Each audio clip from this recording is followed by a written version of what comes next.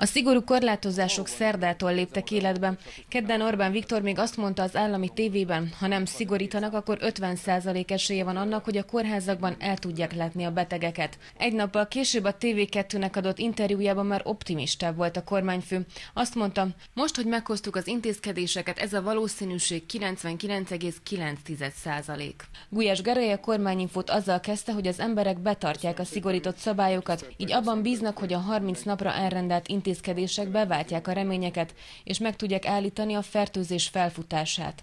Az ATV kérdésére elmondta, a kirendelési szabályokkal kapcsolatban elfogadják az orvosi kamara 8 pontban közzétett javaslatát, a másodállás tekintetében pedig megengedőek lesznek. Automatikus lesz az engedélyezés az orvosok számára, még egyszer mondom azzal, hogy természetesen az új jogviszonyban jelentősen megemelt fizetések mellett azt a betegek is és a kórházak is joggal várják el, hogy a munkaidőt azt az orvosok a kórházi gyógyítással töltsék. A koronavírus elleni vakcináról azt mondtam, hivatalos hivatalos beszerzésre vonatkozó megállapodás kizárólag uniós keretek között van az AstraZeneca-val. Magyarország 6,5 millió vakcinára tarthat igényt. Itt van már Kóka János, a Doktor 24 csoport elnöke. Jó reggelt, köszönöm, Jó reggelt. hogy itt van nálunk. Egy picit mondja el nekünk és a nézőknek, hogy a Doktor 24 mit is csinál. Ugye önt az SZDSZ elnökeként, gazdasági miniszterként ismerik leginkább a nézők, de most nem ezért van itt. Igen, a Doktor 24 Magyarország egyik legnagyobb egészségügyi szolgáltatója. Nagyjából 500 fős csapattal dolgozunk, 250 szakorvossal, és egy olyan professzionális rendszert, hálózatot hoztunk létre, ami azt teszi lehetővé, hogy ne csak egyes betegségeket gyógyítsunk, hanem gondoskodjunk több mint 200 ezer ügyfelünkről.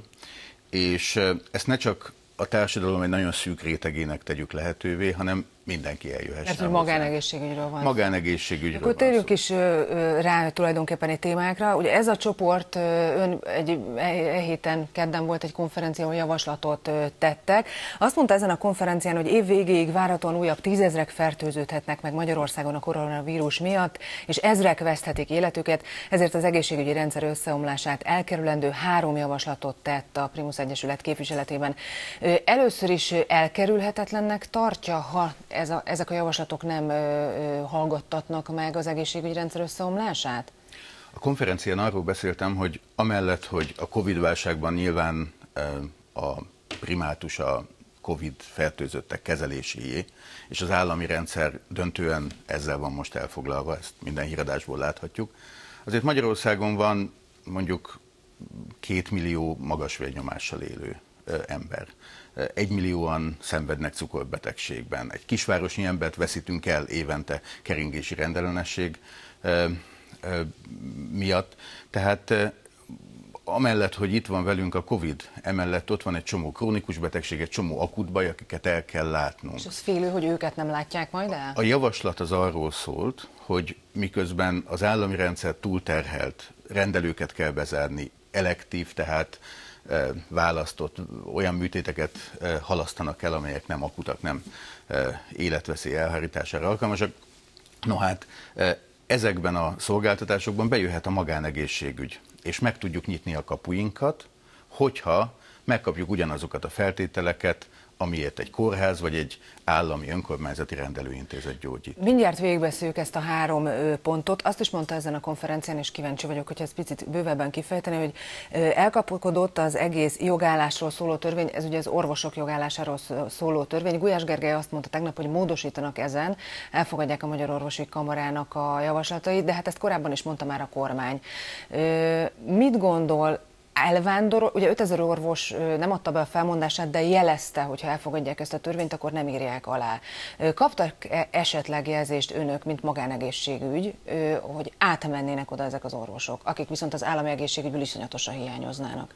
Hát a mi orvosaink azok maradnának, sőt újak is csatlakoznak hozzánk örömmel mondom, hogy a legjobbak választanak bennünket, sőt van még egy esélyünk, hogy haza tudunk hozni külföldről orvosokat. Már most már olyan feltételeket tudunk kínálni, különösen a magánegészségügyben, nem csak fizetésben, hanem infrastruktúrában, felszereltségben, szakmaiságban, különféle tudományos kutatási területeken, klinikai vizsgálatokon való részvételben, amelyek most már képesítenek minket arra, hogy összehasonlíthatók legyünk akár egy nyugat-európai klinikával. Tehát visszamenni nem fognak vissz... az állami, állami egészségügybe? Visszamenni nem, de mi, mi nem drukkolunk, hogy ez legyen. Mi, egy, egy, mi azt gondoljuk, hogy a magánegészségügy kiegészíti az államit, és nem pótolja. Azért drukkolunk, hogy egy olyan szabályozás jöjjön létre, ami az orvosoknak továbbra is választási lehetőséget, a továbbra is megteremti a lehetőségét, hogy klinikai körülmények között és magánegészségben is dolgozhatnak, de hogyha valaki hozzánk szeretne jönni, akkor nem csak főállás, nem csak versenyképes fizetés, hanem életpályamodellt is tudunk adni. Felnőtt már ide a magyar magánegészségügy. Nézzük ezt a három pontot. Az első pont egy ágazati egyeztető fórum létrehozása azért, hogy a magánszolgáltatók enyhítsék az állami ellátórendszer terheit. Ez lehetne az egészségügyi szolgáltató tanács létrehozása. Most van erre még idő? Mennyi idő alatt? Ugye most égető a helyzet, tombol a járvány, itt hetek, napok számítanak. Mennyi idő alatt lehetne ezt létrehozni? Kik lehetnének ebben? Mit csinálna tulajdonképpen ez a tanács? Még egyszer mondom, a, a COVID maga egy, egy, egy, egy gyorsítója, egy előhívója ennek a gondolkodásnak, de azért ez egy nagyon hosszú távú újradefiniálási igény. Most, Tehát nem csak a mostani helyzetre, hanem a ö, jövőre is. Nem csak a mostani helyzetre, hiszen a magyar egészségügy a Covid-tól függetlenül roskadozott hogy szépen fogalmazzak. Ismerjük azokat a példákat, amelyek tarthatatlanok. Látjuk azt, hogy mondjuk Zala megyében egy tétprotézis műtétre több mint kettő évet kell várni, és el se tudjuk képzelni, hogy milyen lehet, amikor fáj a térdünk, kaparjuk a falat a fájdalomtól, és marékszámra szedjük a fájdalomcsillapítót, kettő évet kell várnunk. Hogyha ezeket a problémákat rendszerszerűen szeretnénk kezelni, és most szerintem egy olyan helyzet van, hogy mindenkinek teljesen világos, hogy rendszer szintű változtatásokra van szükség, érdemes létrehozni ezt a Kik tanácsot. lehetnének, kik, kiket szeretnének, kiket hívnának meg ebbe a tanácsba? A kormányzati oldal a minősített magánszolgáltatók, a Magyar Orvosi Kamara, a Szakdolgozói Kamara, tehát azok a legfontosabb szereplők, akik befolyásolják, hogy merre megy Magyarországon az egészség. Elindultak esetleg már ezek a tárgyalások vagy megkeresések? Összefogott a magánszolgáltatók széles köre, tehát azt gondolom, hogy mi fölálltunk várjuk azt, hogy ilyen kommunikációs helyzet legyen a minisztériummal nyilván zavarni, és szeretnénk, tudjuk, hogy most mindenki a Covid-del van, COVID van elfoglalva, Magyar Orvosi Kamarával is van egyfajta e, folyamatos beszélgetés. Hát reméljük, hogy föl tud állni. Igen. A második pont, krízis helyzetben vonják be a minősített magánintézményeket a közellátásba, hogy rövidítsék az ön is említett embertelen hosszúságú váró listákat. Ugye több tízezren, több mint egy éven várnak különféle ellátásra, műtétekre. Azt mondja, hogy amennyiben az állam ugyanolyan feltétellel hajlandó finanszírozni a szolgáltatásokat, mint az állam nyújtotta volna. Tehát jól értem, hogyha van mondjuk egy térprotézis műtétre váró, akkor a magánkórházban megcsinálnák neki, tehát nem kellene a éveket adott esetben, és nem ő fizet, amit, amit nem engedhetne meg nyilvánvalóan mondjuk magának mindenki, hanem az állam finanszírozná a magánszolgáltatónak? Így van. Arról van szó, hogyha egy betegséggel jelentkezik az ügyfél, akkor választhassa meg, hogy az állami vagy a magánszolgáltatóhoz megy, és az államnak legyen mindegy, hogy a közösből, hogyha valamennyit ad a közösből az adott betegségnek a kezelésére, legyen mindegy, hogy ezt az államiba vagy a magánba. Az adja. államnak biztos, hogy mindegy? Tehát ugyan annyiba kerül egy magánkórházban egy térprotézis műtét, mint az államiban? Tehát úgy, ö, érti, mire gondolok? Mert erre azt mondhatnák mondjuk a, hogy ezzel a magánszolgáltatók nagyon jól is járhatnak, hiszen rengetegen várnak több tízezren műtétre, nem tudnának elmenni, de elmennek, tehát ezeket, a maga, ezeket az embereket a magánszolgáltatók felé tolják, és kifizetik nekik. A magánszolgáltatók nagyon sok esetben, a Dr. 24 esetében mindenféleképpen lényegesen hatékonyabban működnek, mint az állami szolgáltató. Ezért aztán jobb minőségű protézist tudunk adott esetben ugyanannyi pénzért betenni. Ráadásul... Ugyanannyi pénzért. Ugyanannyi pénzért. Ráadásul azt látjuk, hogy nem csak a NEAK, régen OEPÁGÁN finanszírozzuk ezeket a betegségeket, hogy finanszírozza az állam, hanem a kórházaknak különféle támogatást ad, infrastruktúrális beruházásokat vállal át, évvégén megkonszolidálja a kórházak adósságállományát.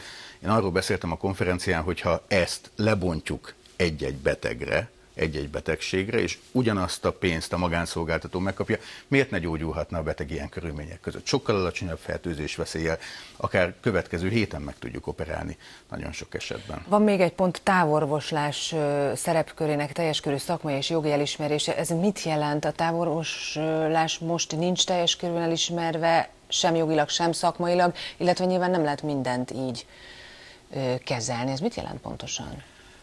Márciusi Covid-válság, március 23-án be kellett zárnunk. Hat nap alatt húztunk fel egy olyan távorvoslási, távdiagnosztikai rendszert, amit egyébként hat hónap alatt szerettünk volna, ami lehetővé tette már a tavaszi időszakban több ezer ügyfelünk számára, hogy hozzánk forduljon interneten. Várakozás nélkül, fertőzés kockázat nélkül. Vannak olyan eszközeink, amelyek segítségével pótolni tudjuk a pácienseknek a behívását a rendelőinkbe. Tehát nem kell bejönni, hanem távolról rá tudok hallgatni a tüdejére, a szívére, bele tudok nézni a fülébe, a torkába. Magyarul meg tudom csinálni ugyanazt, mint hogyha ott lenne akkor pedig miért ne ismernénk el teljes körűen?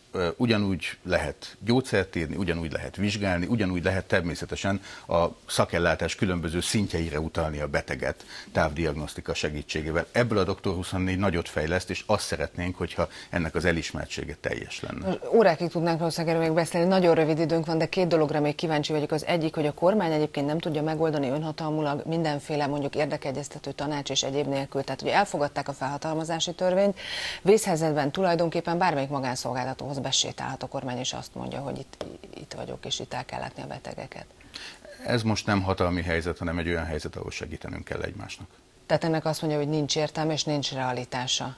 Megtenni megteheti elvileg a kormány, hogy a Boshoz is bementek, egy magánegészségügyi szolgáltatóhoz is bemehet. Az egészségügy minden más szektornál inkább emberekről szól orvosokról, betegekről, gondoskodásról, ellátásról, arról, ami sokkal több, mint mondjuk egy gyártósor üzemeltetésének átvétele. Ezért gondolom azt, hogy párbeszédre van inkább szükség. Utolsó kérdés, én, ha mondjuk elfogadnak most a javaslataikat, hát viszonylag azért rövid időn belül, és így működnek, akkor mit jelentene most az a gyakorlatban? Tehát milyen terhektől szabadulna meg most az állami egészségügy, mondjuk még ebben az évben akár?